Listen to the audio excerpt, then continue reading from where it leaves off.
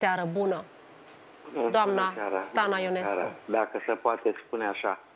Pot să vorbesc acum? Vă ascult, vă ascultăm.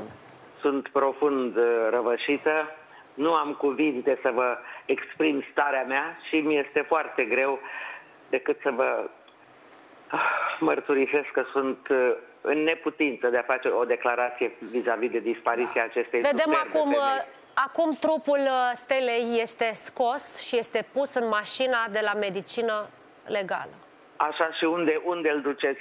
Uh, nu știm unde îl duce, probabil că îl duce la IML, să, vă, să, Aha, să vadă exact bine. care este uh, cauza morții stelei. Avem da. aceste imagini în direct. Vă ascultăm, doamna Stanoi. Bine, ce să mă mai ascultați? Nu mă mai ascultați pentru că nu mai am nimic de spus decât că este o pierdere imensă, este o pierdere care nu are, cum să spun eu, niciun fel de asemănare și mă doare inima, mă doare sufletul, mă doare tot și nu pot să vă exprim nimic altceva decât un regret fără margini fără margini vis-a-vis de un om deosebit, de un actor extraordinar și așa mai departe. Vă sărut și îmi pare rău.